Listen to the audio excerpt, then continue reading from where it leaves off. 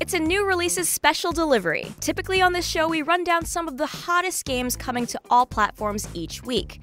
But right now, we've got a special sponsored episode thanks to PlayStation Store's Totally Digital Sale.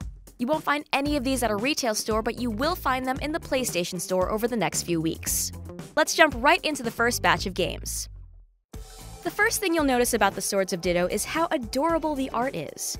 Second, you'll die pretty quickly, but that's okay. Every time one hero falls, a new one rises, and you can loot the corpse of the previous adventurer for their items and weapons.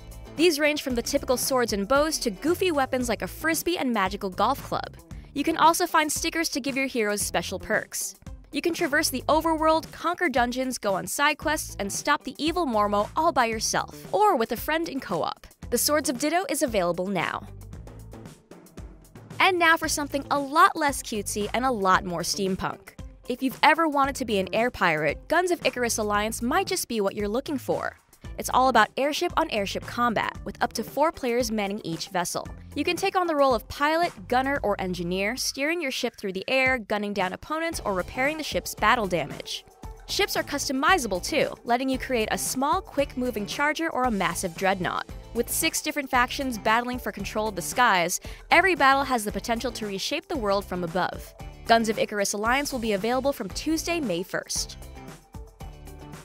If you'd rather race ships than battle them, there's Trailblazers, but you still need to work together with your team here too. See, each side can paint the track with their team color and you can boost over your own color to shoot ahead of your opponents.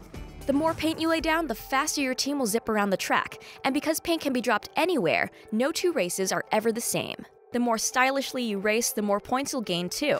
You can team up for a 3 on 3 race online with up to 6 players, or play locally via split screen. Trailblazers will be available from Tuesday, May 8th. And those are some of the hottest totally digital games we'll be playing over the next few weeks. Regular episodes of new releases go live every Sunday, so stay tuned for more great games you'll want to pick up. Thanks for watching, guys, and we'll be back with the second episode of Special Delivery very soon.